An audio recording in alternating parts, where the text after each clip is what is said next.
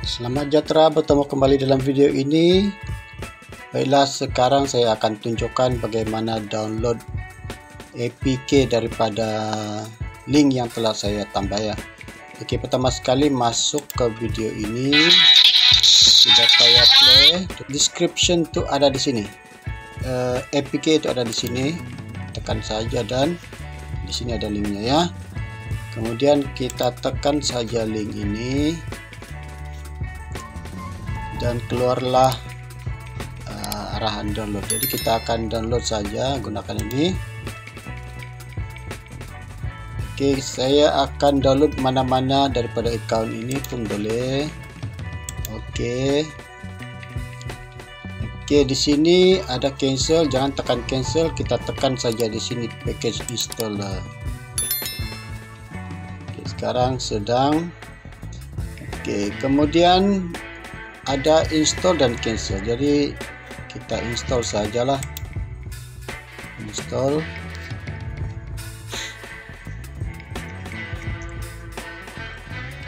Oke okay. unsafe app block. Got it. Oke okay, kita tekan nih more detail. Oke okay, di sini install anyway. Jadi kita tekan install anyway ini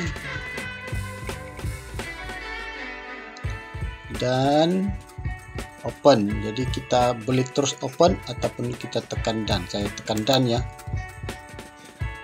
Oke jadi saya akan ke page seterusnya untuk mencari adakah sudah diinstal oke sekarang sudah diinstal di sini. Oke di sini storage phone nearby device kena kena on semua dan continue. Okay this app build for android not work properly check update. Oke okay, saja. Dan sekarang sudah ada oke okay, sudah aktif ya.